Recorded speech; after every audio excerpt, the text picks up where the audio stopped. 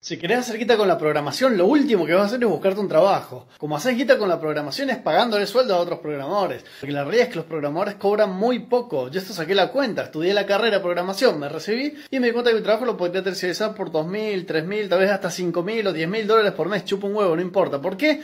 Porque el trabajo que hace un programador puede armarte un software, por ejemplo, que vos lo puedes revender por 100.000 dólares, por ejemplo. Entonces al tipo tal vez pagaste 30.000 dólares en sueldo, lo revendiste por 100.000 dólares y encima después te pagó una retención mensual de otros 10.000 mil dólares más.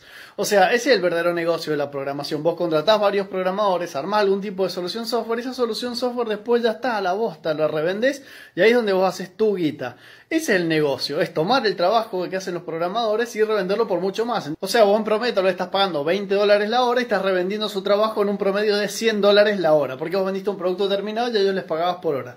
Fin de la historia, así como se hacen millonarios todos los que contratan programadores, todos los que tienen empleados, así funcionan todas las empresas.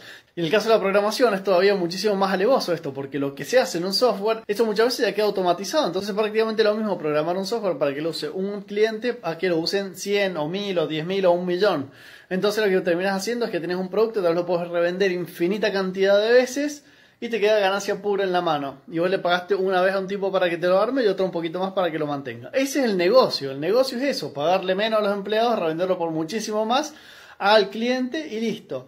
¿Y es injusto esto? No, no es injusto, porque el precio del trabajo que hace el empleado vale justamente lo que vale su sueldo. Así de simple, el sueldo está a precio de mercado. Y el software que vos le estás revendiendo a otro siempre es una porción de lo que le estás ahorrando, por ejemplo, en tiempo y dinero. Tal vez un software que vos vendés por 100 dólares al mes está ahorrando 1000 o 2000 dólares por mes a tu cliente.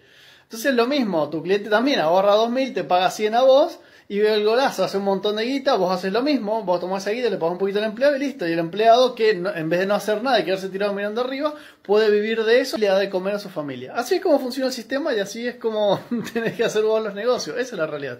Así como se hace guita con la programación, contratando a programadores, no programando vos, porque si vos sos el que programaste, quedan lo más abajo de la escala. Mientras más arriba subís, muchísimo mejor.